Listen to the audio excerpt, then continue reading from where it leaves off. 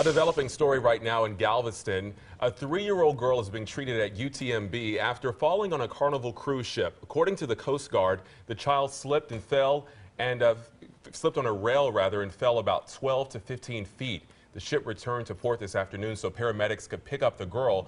She apparently had a head wound and a possible broken jaw.